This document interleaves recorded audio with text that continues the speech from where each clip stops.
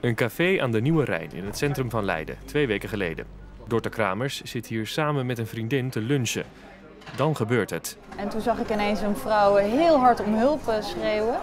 En toen heb ik me eigenlijk geen seconde bedacht. Toen heb ik mijn vriendin aangekeken en ben ik heel snel naar buiten gerend. Een kinderwagen met daarin een baby van zeven maanden oud rolt achteruit de ijskoude gracht in. De moeder van de baby springt meteen in het water. Ik denk dat het hier was. Alleen stond deze, die stond veel verder naar achter. Dus er was hier een, een gat van, ik denk een meter of zo, tussen de kade en de boot. Ik sprong het water in en er gebeurden eigenlijk twee dingen gingen tegelijkertijd uh, gebeuren. Nou, van de ene kant was ik heel bewust die wagen eruit aan het tillen en daarna die vrouw. Maar mijn lichaam reageerde alsof je als je na een warme douche ineens heel hard kou kraan aanzet. Dus ik stond echt naar adem happend in dat water. Maar ja, dat ging dus volledig langs elkaar. En tegelijkertijd gebeurde dat. was heel, uh, heel raar, maar ik herinner me dat. Uiteindelijk worden de drie uit het water getild door omstanders en ondergebracht in het café.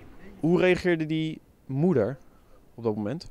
Nou ja, ze schreeuwde in het water, schreeuwde ze. En toen ze eruit was, was ze heel erg geschrokken. Ze was volgens mij een beetje verstijfd van de schrik. Voor de gemeente Leiden is de reddingsactie van Dorte reden genoeg om de heldenpenning van de stad toe te kennen. Gelukkig is het goed afgelopen, weet je. Voor hetzelfde geld niet. En dan, ja, dat vergeef je jezelf nooit.